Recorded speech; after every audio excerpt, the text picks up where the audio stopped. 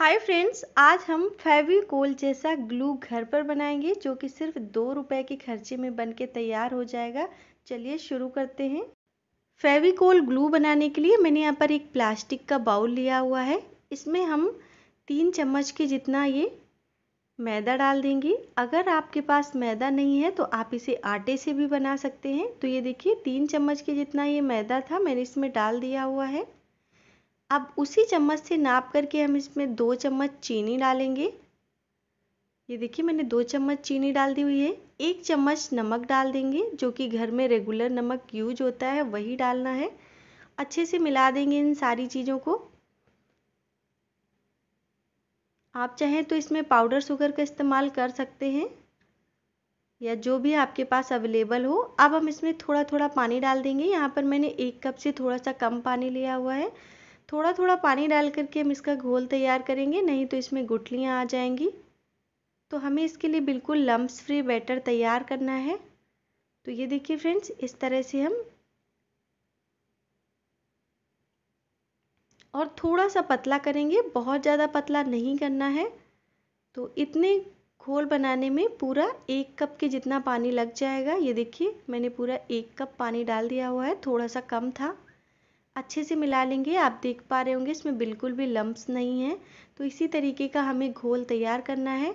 अब हम इसे एक कढ़ाई या पैन में डाल देंगे। गैस ऑन करेंगे और गैस ऑन करने के बाद हम इसे कंटिन्यू चलाते रहेंगे, नहीं तो इसमें लम्ब्स आ जाएँगे।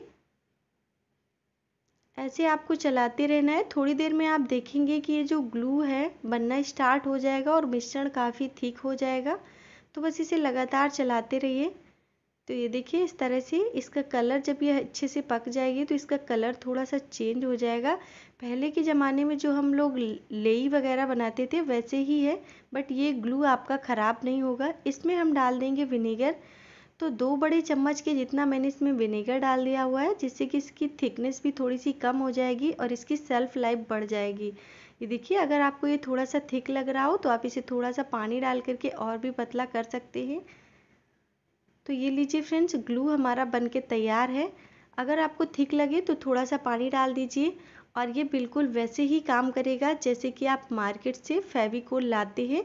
तो बच्चों को बहुत ज़रूरत होती है इस ग्लू की जो कि हम मार्केट से लेके आते हैं। तो इस तरह से आप घर पर बना के रख लीजिए और इस्तेमाल कर लीजिए।